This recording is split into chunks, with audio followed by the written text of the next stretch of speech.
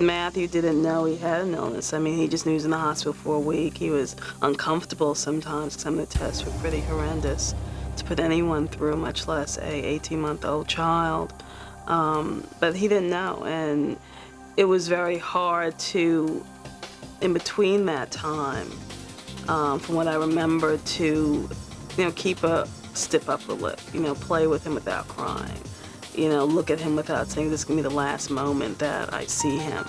Um, telling him you love him a few extra times that day because you may not have him tomorrow. I mean, that's how afraid we were and really didn't know and really didn't have any answers. I saw my pediatrician and he said, no, no, no, let's wait till they're two. And it was, you know, that mother's kind of gut inst- instinct. I said, no, I don't want to wait till they're two. Uh, I want to see someone. I want someone else's opinion and I want to start working with them. I'm a first time mother and, you know, I don't know all the right things to do. Uh, in terms of talking to them and, and having two of them, it's even more difficult because you're always trying to run after the other guy and there's not that sit down one on one time. And there was a lot of guilt on my part of I'm not giving them what they're supposed to, that, that they need. Well, I just find out I was very sad because I was thinking I'm alone. You know, I was thinking I was the only person have a child with disabilities, and um, we went home, and then the appointments began for this doctor, for the other doctor. We do serve infants and toddlers, and a lot of families are identified here. And it's very hard on the parents, and it's hard on the staff too, as well, to sit down and to, you know, let them know what we're suspecting, let alone having them diagnosed. It wasn't until after my husband had left and uh, he was out passing out cigars to celebrate the birth of a second daughter that um, the next morning the pediatrician that was working the rounds that morning came and said, you know, I'm really sorry to tell you this, but you have a mongoloid daughter mentally retarded. And my advice to you is to institutionalize her put her in a home, forget you had her. You're young enough to have more kids and go on with your life. Otherwise, she's going to be a burden on your life because I don't think she's ever going to be able to walk or talk or be able to do anything.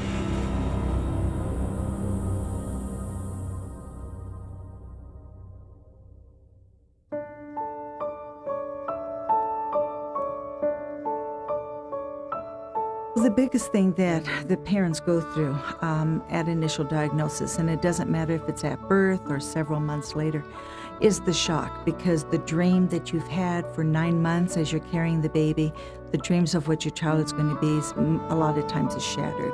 And so they're trying to then pick up the pieces and now deal with the disability that the family has had no training on at all. And so being able to talk to another parent who has experienced a lot of what those families are going through a lot of times takes a big weight off their shoulder. It's impossible to separate the infants and toddlers in particular from their family culture, and it's very important that all cultures are respected. And different cultures have different ways of dealing with infants and toddlers with disabilities, and that has to be acknowledged and respected, and that's part of what's worked through in the process. A lot of times they feel like they're isolated from the other families. Being able to bring another family in and then being able to talk with them and build up a relationship with that other family very well could help. The professionals, we talk about all these medical terms and what his needs are and all these things and using medical terminology and educational t- terminology, the jargon that we tend to, to talk to each other in. But to really focus on mom's needs, to say, okay, we're having this discussion, but I'd like to let you know what is going on, to explain to the parent in plain, simple language, and to say, these are the needs, but there are options to meet these needs. After um, Delbert was born, and I thought I had overcome a bunch of obstacles with learning the techniques of taking care of him, and then came Christopher and learning more and more medical terms. I felt like I wasn't, I should have took up the field of nursing or something different because I felt like I was really becoming more experienced in that field of work. But I had the support of the Intervention Center and the Early Head Start staff who was willing to learn all that with me. And the support is just a big thing. My family was willing to learn everything I had to learn to help take care of Christopher and Delbert So I just feel that intervention is just real important with Early Head Start, whether it's intervention centers or school districts that you work with, that it's just really important. letting the parents know that we're going to take care of their babies, that it's a safe place, that we're not going to put their child in a corner. I think that the parent, any parent who puts their child in childcare has fears, but I think it's probably especially intense for a family with a child with disabilities. So just letting them know that we want their child, that we're going to keep them safe, that we're going to make sure that the child's needs are met are the most important things.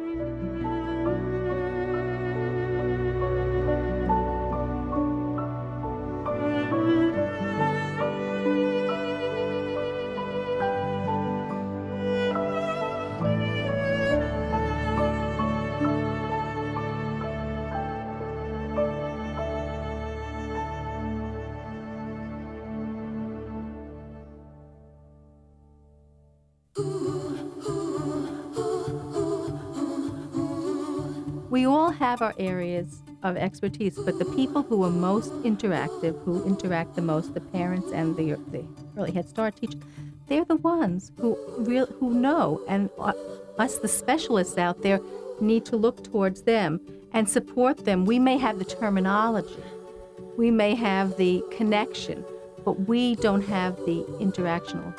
We're not interacting on the level that they are. So we need to look towards them. They are the, the, the people who really know, and they need to we need to help them to trust themselves. We provide support for them, uh, and it might mean not just connecting with the resource, but it might mean saying to that individual teacher, "You can do this. I'll be here to help you. You have help from the parents, uh, and we'll get as much information as we possibly can to make sure that you get the resources and information that you need to help to, to work with this particular child." And I think that the support that the family gave the staff was equally as important because we would just watch and see what they were learning and how they were handling all of the the visits you had to make to the big hospital on the mainland and all the surgeries that he had to go through and all the new news that you find out about his body and its involvement that we could only gather that as strength for us in taking care of him.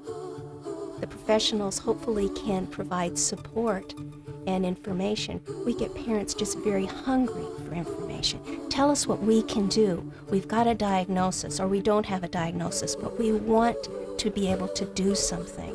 They may be sad, they may be angry, they may be glad that their child is alive, depending on what the situation is, but they want to be able to help their child.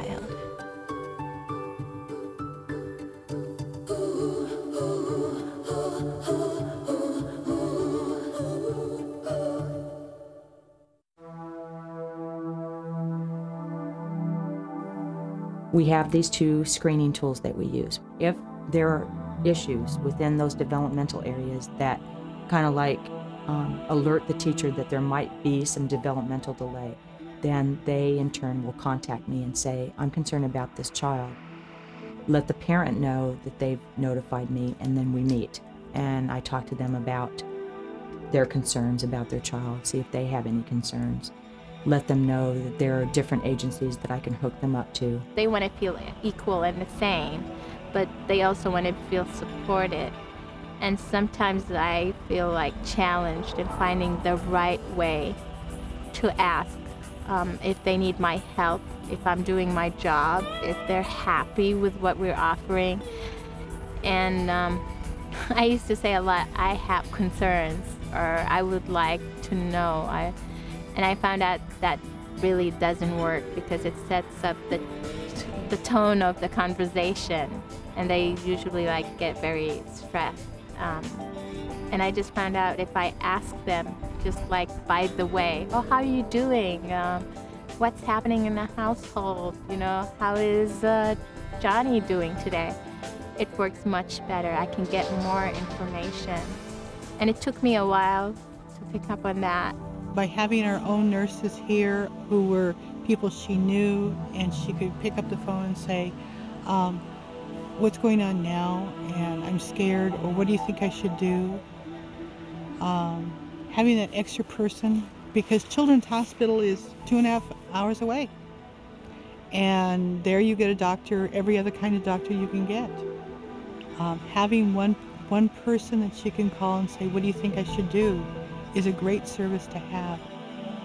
I've learned a lot about the laws and uh, the rights of parents because I have to learn that in order to be advocates for them and be able to uh, articulate that to parents. And so I've learned quite a bit as a professional. Uh, I think it's kind of taken my, my career to another level uh, because when I was in when I got in early childhood, I didn't get in particularly to work with children with disabilities. I just got into work with children, and it's kind of opened up and kind of added to uh, my professionalism by being able to do this. A lot of times I go into a home and the doctors have painted this picture of what to expect of a child with disabilities early on as a newborn. They're told a lot of times your child will never be able to walk, your child will never be able to talk, they won't be able to do anything. They'll require your total care for the rest of their life. And it's a pretty bleak picture for a lot of these families, and they think that, you know, why do I need to do anything with my child because they're not never going to be able to do anything anyway. So I come in there with a big smile on my face and try and change the picture of it all. Try and let them know that there is a chance for their child, and you take one step at a time. The system wasn't set up to really make it parent friendly or family friendly to really do that now, um, especially programs such as this one that it's just, you know, it's uh, just part of the dialogue. It's just, you know, like saying good morning, God bless you after you sneeze. You know, it's just part of the dialogue, which is so important and then really ingrained in the philosophy that you are not alone. We are part of this together and we're going to work at a solution together. You just have to be ready to listen to the mom and listen to the baby. So um, I think it's been later that, that you, you kind of want staff to come to an awareness on their own and be ready to accept information. I think the first place that I would ever want to be is who is this child and how am I going to take care of him? Not what the disease parameters are, you know, the disability. Really focus on the child.